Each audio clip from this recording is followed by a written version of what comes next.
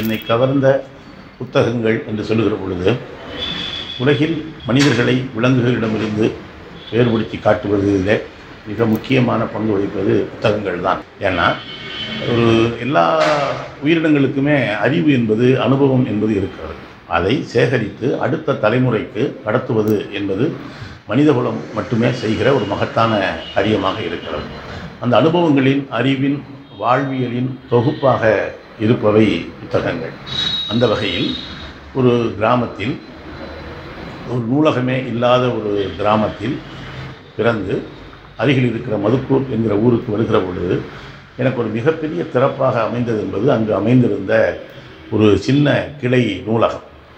அந்த நூலகத்திலிருந்து நான் பள்ளிக்கு வருகிற பொழுது பாடப்புத்தகங்களோடு அன்றாடம் சில நூல்களையும் எடுத்து படிப்பது வழக்கமாக இருந்தது. ஆரம்பத்தில் எல்லோரையும் போலவே நானும் துப்பறியும் நாவல்கள் தமிழ்வாணன் சுஜாதா ராஜேந்திரகுமார் ராஜேஷ்குமார் போன்றவர்களுடைய அந்த புனைகதைகளைத்தான் நானும் படித்தேன். பிறகு கொஞ்சம் கொஞ்சமாக கல்லூரி பல்கலைக்கழகம் என்று வருகிற பொழுது நம்முடைய வாழ்வு அனுபவத்தோடு சேர்ந்து வாசிப்பு அனுபவமும் பெருகத் துவங்கியது. அதில் இப்போதும் நான் அடிக்கடி படிக்கிற புத்தகங்களிலே ஒன்று ராகுல சாங்கிருத்தியாயன் அவர்கள் எழுதிய வாழ்காவிலிருந்து கங்கை வரை என்கிற புத்தகம். அநேகமாக இடதுசாரி இயக்கத்துக்கு வருகிற பலருக்கும் அந்த புத்தகம் ஒரு பெருந்துணையாக ஒரு தோணியைப் போல அறிவு கடலை நாம் புரிந்து கொள்வதற்கு கடப்பதற்கு ஒரு மிகப்பெரிய திறவுகோலாக வாழ்காவிலிருந்து கங்கை வரை என்கிற புத்தகம் நிச்சயமாக இருக்கிறது இருக்கும் என்று சொல்லலாம். ஏன்னா மார்க்சியத்தினுடைய தத்துவத்தை எளிமையாக ஒரு கதை போல வரலாற்று பொருள்முதல் வாதம் இயக்கவியல் பொருள்முதல் வாதம் இவற்றையெல்லாம் ஒரு கதை போல ராகுல சாங்கிருத்தியாயன் வால்காவிலிருந்து கங்கை வரை நூலிலே எழுதியிருப்பார். இப்போதும் கூட இடதுசாரி இயக்கத்திற்கு வருகிற இளைஞர்களுக்கு பரிந்துரைக்கப்படுகிற புத்தகமாக பொது உடைமைதான் என்ன? என்கிற ராகுல்ஜியினுடைய புத்தகமும் அதே போல் வால்காவிலிருந்து கங்கை வரை அதன் பிறகு அவர் சிந்து முதல் கங்கை வரை உள்ளிட்ட பல்வேறு புத்தகங்களை எழுதியிருக்கிறார். அந்த புத்தகம் எப்போதுமே நான் படித்த பரிந்துரைக்கிற புத்தகங்களின் பட்டியலில் எப்போதும் வால்காவிலிருந்து கங்கை வரை புத்தகம் இருக்கும். உலகத்திலே விவிலியத்துக்கு அடுத்தபடியாக அதிகமான மொழிகளிலே மொழிபெயர்க்கப்பட்டிருக்கிற புத்தகம் திருக்குறள். வள்ளுவன் ஒன்னே முக்கால் அடியிலேயே குரல் வெண்பா என்கிற இலக்கண வடிவத்துக்குள்ளே உலகத்தை நிச்சயமாக அளந்திருக்கிறார் என்று சொல்ல முடியும். இன்றைக்கும் கூட பகுத்துண்டு பள்ளியில் முதல் நூலோர் தொகுத்தவற்றுள் எல்லாம் தலை என்கிற திருக்குறள். அப்போது அந்த குரலிற்கு பொருள் எனக்கு முழுதாக புரியவில்லை. இந்த கொரோனா காலத்திலே தான் அந்த பகுத்து உண்டு பல் உயிர் ஓம்புதல் நூலோர் தொகுத்தவற்றுள் எல்லாம் தலை என்று வள்ளுவ பெ- பெருமான் சொல்லியிருக்கிற அந்த குரலினுடைய முழு அர்த்தம் தெரிந்தது. இந்த பூ உலகம் மனிதர்களுக்கு மட்டுமே சொந்தமானதல்ல. உலகத்தில் இருக்கிற எல்லா உயிர்களோடும் மனிதன் தன்னுடைய வாழ்க்கையை இந்த பூவுலகில் பகிர்ந்து கொள்ள வேண்டும். பகுத்து உண்டு பல்லுயிர் ஓம்புதல் பயோடைவர்சிட்டி இன்றைக்கு புவி வெப்பமயமாதல் சுற்றுச்சூழல் என்றெல்லாம் பேசுவது குறித்த ஒரு பேரறிவு அன்றைக்கே தமிழர்களுக்கு இருந்திருக்கிறது என்பதைத்தான் பகுத்து உண்டு பல்லுயிர் ஓம்புதல் இந்த காமத்துப்பால் அல்லது இன்பத்துப்பாலில் ஒரு ஒரு குரலில் வள்ளுவர் என்ன சொல்கிறார்னா ஒரு காமம் என்பது எப்படி இருக்கணும் அப்படின்னு சொன்னால் ஒரு காவடியினுடைய இரு முனைகளைப் போல இருக்க வேண்டும். அப்போது தான் அது இன்பமாக இருக்கும் என்று சொல்லியிருக்கிறான் இதில் வந்து ஆணும் பெண்ணும் அதிலே சமம் என்பதை ஒரு இரண்டாயிரம் ஆண்டுகளுக்கு முன்னாலேயே சிந்திக்கிறவனாக வள்ளுவன் இருந்திருக்கிறான். ஆயிரம் குரல்களை சொல்ல முடியும். ஒருத்தன் வந்து உன்னை கொலை செய்கிற அளவுக்கு ஒரு கொடுமை செஞ்சுருந்தா கூட அவன் ஒரு திணை அளவுக்கு நன்மை செய்திருந்தால் அதை நினைத்து நீ அதை பொறுத்துக்கொள் என்றெல்லாம் அறத்துப்பால் பொருட்பால் இன்பத்துப்பால் என்கிற மூன்று பாலிலும் திருக்குறள் இன்றும் கூட நீங்கள் வந்து இறந்து உயிர் வாழ்தல் பறந்து கெடுகை உலகேற்றியான் என்றெல்லாம் வள்ளுவன் பேசுகிறான். பசி குறித்து பேசுகிறான். பொருள் குறித்து பேசுகிறான். திருக்குறள் எப்பொழுதுமே என்னுடைய பட்டியலில் இருக்கிற ஒரு புத்தகம். அதே போல் இன்னொரு புத்தகம் கம்யூனிஸ்ட் அறிக்கை என்கிற மார்க்ஸ் ஏங்கல்ஸ் என்கிற இரண்டு மனிதகுலத்தின் மாமேதைகள் எழுதியிருக்கிற புத்தகம். இந்த புத்தகம் எழுதப்பட்டு இத்தனை ஆண்டுகள் ஆன பிறகும் அதில் உள்ள வார்த்தைகள் ஜீவன் உள்ள வார்த்தைகளாக இருப்பதை நம்மால் பார்க்க முடிகிறது. அதில் அது ஒரு கவிதை. அது ஒரு பொருளாதாரம் குறித்ததா? ஆம் பொருளாதாரம் குறித்தது. சமூகம் குறித்ததா? ஆம் சமூகம் குறித்தது. அதையெல்லாம் தாண்டி அதில் இருக்கிற அந்த மொழி நடை அந்த நூலை கம்யூனிஸ்ட் அறிக்கையை எழுதுகிற பொழுது மார்க்சும் ஏங்கல்ஸும் இளைஞர்கள். ஒரு கவிதையைப் போல அந்த நூலை ஒரு பொருளாதார நூலை ஒரு கடுமையான பொருளை பேசுகிற நூலை அதுவரை மனிதகுலம் அதிகமாக பேசாத பொருளை மார்க்ஸும் மார்க்சும் இருக்கிறார் பேசியிருக்கிறார்கள். அந்த புத்தகத்தை முதன் முதலில் படித்த பொழுது இருக்கிற சொல்லாளர்கள் செலவு எனக்கு புரியலை. ஆனால் இன்றைக்கி படிக்கிற பொழுது எவ்வளவு ஒரு சுருக்கமாக சுண்டக்காய்ச்சிய பால் போல சமூகத்தை பொருளாதாரத்தை பண்பாட்டை கலாச்சாரத்தை இந்த நூல் பேசியிருக்கிறது. கம்யூனிஸ்ட் அறிக்கை என்பது இன்றைக்கும் ஒரு மிகச்சிறந்த இரண்டு மாமேதைகளினுடைய பங்களிப்பாக மிளிர்கிறது.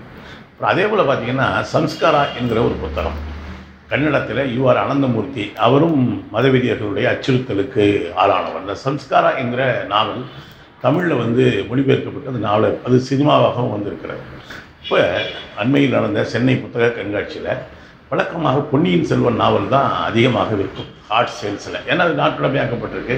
ரொம்ப மலிவு விலையில் பல பதிப்பகங்களும் போட்டி போட்டு தருவார்கள். ஆனால் இந்த புத்தக திருவிழாக்களில் தமிழகத்தில் நடைபெறக்கூடிய புத்தக திருவிழாக்களில் புதுமைப்பத்தினுடைய சிறுகதைகள் தான் அதிக அளவில் விற்பனையாக இருக்கிறது. மலிவான விலையில் ஒரு பதிப்பகம் அதை வெளியிட்டிருப்பது. புதுமை பித்தகம்.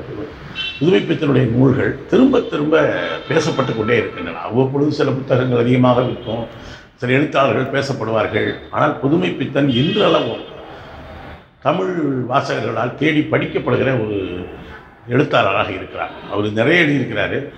நீங்கள் கடவுளும் கந்தசாமி பிள்ளையும் என்கிற ஒரு சிறுகதை.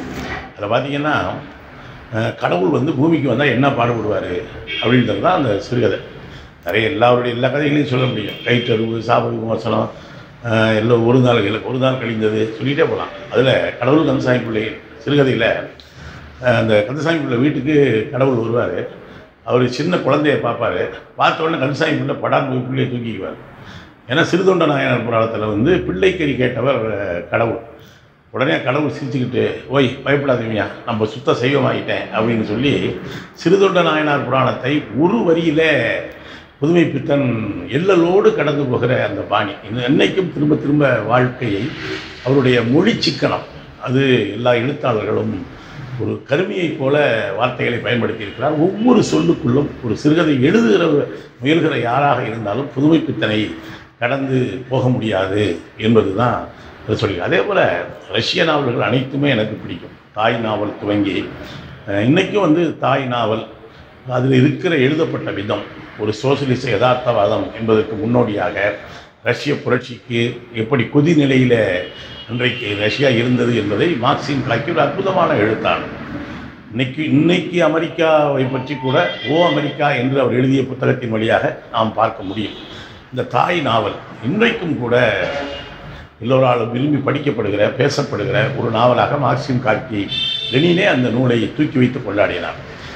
அவருக்கு முன்னால் டால்ஸ்டாய்.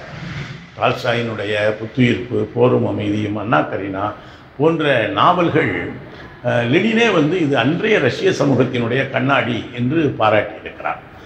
ஜெயகாந்தன் சொல்வார் அண்ணா கரீனா இப்போதும் என் பின் இரவுகளில் அழுது கொண்டிருக்கிறார் என்று ஜெயகாந்தன் அண்ணா கரீனா குறித்து சொல்லுவார். ஒரு ஒரு ஒழுக்க அற நெறிகளை பின்பற்ற போதிக்கிற ஒரு நூல் அல்ல. ஆனால் வாழ்க்கை என்பது எவ்வளவு சிக்கலானது நுட்பமானது என்பதை அண்ணா கரீனா வந்து இன்றைக்கும் அது எல்லோராலும் படிக்க வேண்டிய ஒரு புத்தகம். பல மொழிபெயர்ப்புகள் வந்திருக்கு. அண்ணா கரீனா எப்பொழுதும் ஒரு சிறந்த புத்தகங்களின் பட்டியலில் அவருடைய நிச்சயமாக போர்வம் வீதியும் புத்துயிர்ப்பும் என எல்லாமே மனித வாழ்வை ஒரு அகண்ட திரையிலே பார்ப்பது போலத்தான் டால்ஸ்டாயினுடைய எழுத்துக்கள் அவருடைய சிறுகதைகள். இதில் அண்ணா கரீனா எனக்கு ரொம்ப பிடித்த ஒரு புத்தகம் என்று சொல்லலாம். அதுபோல் கவிஞர் வைரமுத்து அவர்களுடைய நாவல்கள் தனித்து பேசப்பட வேண்டியவை. அது கள்ளிக்காட்டு இதிகாசமானாலும் சரி கருவாச்சி கவியமாக இருந்தாலும் சரி அவருடைய க கவிதை தொகுப்புகள் தொடர்ந்து குறிப்பாக தமிழாற்றுப்படை மிகச்சிறந்த ஒரு தமிழுக்கான பங்களிப்பு. அவருடைய தமிழாற்றுப்படையில் ஒவ்வொரு கவிஞரை தொல்காப்பியர் துவங்கி வள்ளலார் வரை புதுமைப்பித்தன் ஜெயகாந்தன் என ஒவ்வொரு எழுத்தாளர்களையும் மிகச்சரியாக அவர் அடையாளம் காட்டுகிற அவர்களை நோக்கி ஆற்றுப்படுத்துகிற அதில் குறிப்பாக திருமூலர் குறித்த நூல்கள்லாம் ரொம்ப அற்புதமானது.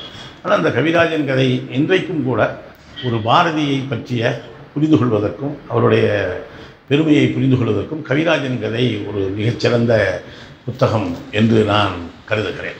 ஆதவன் பிச்சனி அவர்களுடைய ஒரு வித்தியாசமான மொழி நடையிலான சிறுகதைகள் அதுபோல் சு. வெங்கடேசன் அவர்களுடைய காவல் கோட்டம் அதைத் தொடர்ந்து பொன்னியின் செல்வனை கிட்டத்தட்ட அதனுடைய வாசக பரப்பை தாண்டிய ஒரு நூலாக வேல்பாரி என்பது இருந்தது. ஏன் அப்படி சொல்கிறேன்னா இன்றைக்கும் கூட ஒரு ஒரு நாவலே ஒரு இலக்கியமாக.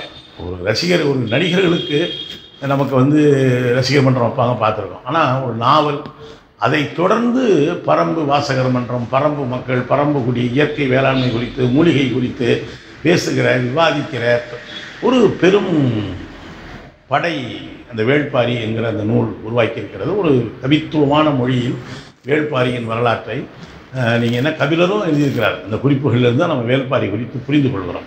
இன்றைக்கும் அந்த வேள்பாரி என்கிற நாவல் இளைஞர்களால் தேடி படிக்கப்படுகிற ஒரு நூலாக இருக்கிறது. அப்படி வந்து பத்து புத்தகம் இல்லை. ஒரு பத்தாயிரம் புத்தகத்தை வந்து நம்மளால் சொல்ல முடியும் என்றாலும் கூட இந்த புத்தகங்கள் என்பது நம்முடைய வாழ்வு அனுபவத்தை மாற்றியிருக்கிறது. நம்முடைய வாழ்வியலின் சாரத்தில் செறிவூட்டி இருக்கிறது என்றே நான் சொல்வேன்.